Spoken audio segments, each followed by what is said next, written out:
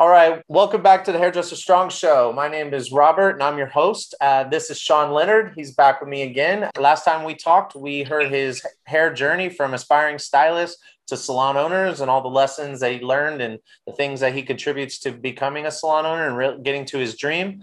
Uh, today, we're going to hear about the pros and cons of salon ownership and uh, why he loved it and why he necessarily didn't love it. And uh, but we're going to hear from him. So, uh, what's up, Shawn? Will you um, just give us a little quick introduction for those that did not hear your first episode?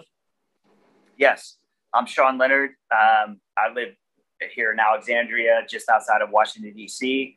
I've been a, a stylist in Washington, D.C. for like tw- over 25 years now, and just cool part of the cool. journey. Okay, so uh, Shawn Leonard is uh, local to uh, DMV, and he uh, owned a salon in Georgetown called Easel. Uh, how long did you own that salon for? It was just under 10 years, actually. What did you love about salon? This being a salon owner. Um, the, the, I loved teaching. I loved creating uh, an environment that was very educational and giving giving uh, to my staff, um, as well as the biggest thing for me and how I grew my business the most was through something called social entrepreneurship, and uh, that that was giving back to community as a whole, and um, and at the same time you know, it, it it's like a weird way of when you give back, it's like obviously uh, people start to take notice and marketing happens as a result of that. So that was a big part of our ethos so, um, were your staff members able to build their book like pretty easily? Do you have like this windfall of new client traffic? We did, um, and then obviously the recession of 2008 happened at the same time. So we went we went basically from this like crazy, insane, you know, vertical incline of business growth to all of a sudden it just like flat line. And it wasn't that it was bad at the time in 2008, but it was the economy just just bottomed out, you know? Yeah. So why don't you uh, tell us a little bit about like what happens um, over time as a business owner? Like, you know, if you can build people, you know, do they stay? Why do they, if they don't stay, why do they leave? If they do stay, what type of, um, what type of demands uh, do they, do they do they want in order to stay you know give some give some insight to like some of the challenges that you're going to deal with as a salon owner? For sure. As an owner I, I was straight up about commission rate from, right from go. When i interviewed i would say here's your quote service charges and whatever else you know, and healthcare as well and education. Those were up front and you know and i found there's a generational gap and mentality from hairdressers. And millennials are creative and they're great, and I respect it. And I'll say it this way. So I spent thousands and thousands of dollars on maintaining um, websites and relevancy. And then my happiest employees had their own website and their own everything going on on the side and and and I asked them because I was they were happy, and I asked them why, and they were like, "Well, I'm helping you by helping me," and I'm in my own mind going, "And you basically are able to just pick up and walk away with everything I have." Right. So they're developing their own uh, brand uh, by utilizing your space and your uh, brand, your brand to drive traffic into them. So what that means is that the old school uh, power dynamic of a salon owner having control over the clientele, like the book of clients and the phone numbers and stuff, that's not really a competitive advantage anymore. Um, so, w- did you experience people building up uh, uh, in your salon and then leaving you to go out on their own, or yeah? Like- so, so the initial, the initial, I had two walkouts happen when I had I had my salon.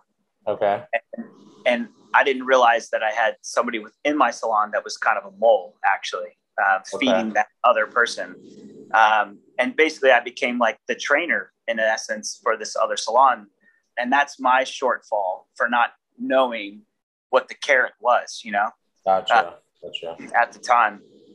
But, uh, you know, in my, in my view, like looking back now, our industry as a whole is is evolving, and I don't necessarily think it's necessarily for the best. Okay. I mean, it could be. I mean, California's done it well, you know, with with booth renting and becoming individual ownership within a salon. California does it the best, but they've always done it the best out west. You walk into a salon, it's seamless. You would not know that it's individuals within a business. But on the East Coast, we're like samurais when it comes to booth renting and you know being individuals. It's like that's my product, that's my state, that's mine, mine, mine, mine. You know, kind of okay. attitude, and it looks that way, and it starts to become that way within a within the booth renting atmosphere because yeah. egos are involved and individualism and i don't i don't know if that's millennial or what you know i don't i don't know but um, that's i think we're in that space of time right now within the east coast environment within the within the hair industry. So what i hear uh, what i'm hearing is that you know the current current situation with the salon structure for anybody looking to open up a salon um, so we have a commission-based salon where people are employees and they operate under one flag, uh, one banner, and um, they rely on the business owner to take care of all the administrative functions and the, you know, uh, the books and payroll and ordering supplies, etc. Or you could be in a booth rental situation where you're responsible for uh, make keeping your supplies stocked and um, and doing your own books and doing your own payments, etc. And uh, right now, uh, what's happening, especially on the East Coast, because yeah, on the West Coast, booth rentals more more popular. I've noticed uh, more and more salons are switching over to being booth rental around here. And um, you know maybe that's something that a new stylist that's looking to open up a salon is um, they should consider like you know do you really want to do uh, a commission based business you know like i was just actually ha- did a consultation for somebody who's looking to open up a salon and they're asking about different business models and different ways to skin the cat. And um, you know they want to know if they should do like um, a booth rental or commission. You know commission is so much more enticing because you get a piece of everybody's like a big chunk of everybody's pie.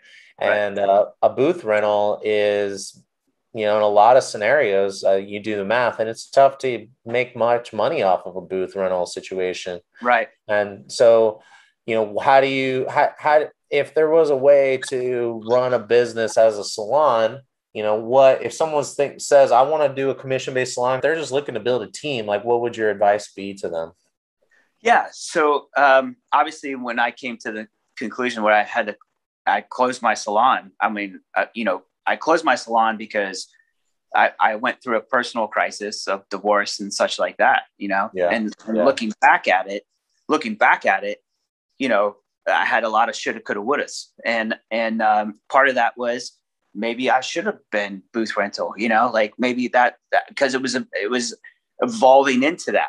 And, um, you know, th- the idea of, of that is, and at the end of the day, as a booth rent booth rental salon, as the owner, you're the landlord, and it's being a landlord. And if you've ever owned a property, it's the same thing. Right. You're the landlord. You're right. the landlord, and and and you know the, the the difference of West Coast East Coast is this that the East Coast or West Coast it's seamless. They do it in a way is seamless. It's like from go, we're going to open up a salon. It's all bit booth rental, but you know, I'm going to take care of whatever it is. We're going to have one or three product lines for the whole salon. And everybody's going to contribute towards education. It's a team. Even though you're an individual, at the end of the day, it's still a team. Now that's the ultimate booth rental environment. Right. But East Coast wise, we have these big corporations that are selling these salon suites because it's like, you know, it, it, for them at the end of the day, it's about um, commercial real estate. I happen to cut one of the guys' hair who owns Loft and all this stuff, you know, and and he's it's commercial real estate. Right. He, he's looking at it like I have an X amount of space, but within the space, I'm going to get so much rent off of everybody. Like, is there anything else that uh, you'd want to, you know, like any last like, pieces of advice before anybody that's thinking about opening a salon? Anything that you would like, you might want to, you know, make sure that they know, like words of advice? for for ownership or opening a salon and all that kind of stuff? Yeah, like a person, a young stylist or a stylist that's uh, you know thinking about opening up a salon or sure. in the process of it. Sure. Um, I would I would I would arguably say this. Um, you know, being you know we're a hairdresser. We're a strange breed. You know, we're uh, it's it's it's hard to herd cats as we're the cats, you know, as as as hairdressers. Um, and and it's this tension between artistry and business. And at the end of the day, you're both always. It's not just about the artistry of hair. You're also a business within a business. And and obviously if you want to own a salon at the end of the day, just because you're busy and people love you and you're making a lot of money, that's not necessarily the next step to own a salon. Gotcha. It, it's it takes a lot more to own a salon than to just be busy, well liked, making money, and all that kind of stuff. You better love business. You better love marketing. You better love social media. You better love that awkward moment of firing someone. Gotcha. You better love it. You better love having a handbook and creating a handbook for your employees. You better love living by that handbook. That's gotcha. that's my advice. Good. I like that advice. You know, I yeah, I think that's, I think you said it very well. I don't even need to re- reiterate it. That was great. Um, all right. Well, thank you so much. And um, next time we'll hear about if you d- would do things differently and, uh, you know, if I knew what I know now. Uh, so we'll, until next time, uh, I'll see you later. Thank you again. Thank you, Robert. All right. Take care. Okay.